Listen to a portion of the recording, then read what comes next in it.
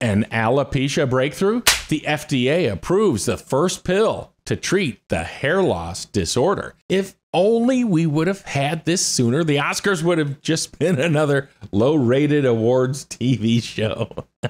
Seriously, though, there may be some good news around the corner. For the first time, the U.S. Food and Drug Administration has approved a pill which can treat adults dealing with the hair loss disorder, alopecia areata. The FDA says Olumiant or baricitinib is the first drug to offer systemic treatment for the condition, meaning it treats the entire body instead of just one area.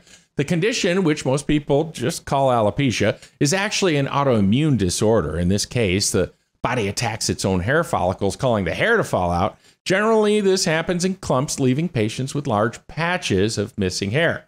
Actress Jada Pinkett Smith has become one of the most well known people dealing with alopecia in recent years. The new treatment, Olumiant, is a Janus kinase or JAK inhibitor. This class of drug blocks the activity of one or multiple enzymes in a specific family, preventing them from causing inflammation. Interestingly, the FDA already approved Olumiant for use in 2018 as a treatment for rheumatoid arthritis, and more recently, doctors have been using the drug as a treatment for COVID 19 in certain hospitalized adults.